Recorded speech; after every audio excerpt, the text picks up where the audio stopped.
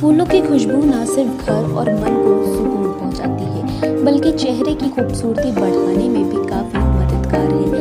गेंदे, गुलाब, गुड़हल के फूलों में मौजूद औषधि तत्व न सिर्फ़ चेहरे पर निखार लाती है, बल्कि आप इससे कई समस्याओं से भी बचे रहते हैं। आज हम आपको बताएँगे फूलों से बने होममेड फेस पैक के बारे में, जो आपकी खूबसूरती को चार चाँद लगा देगा।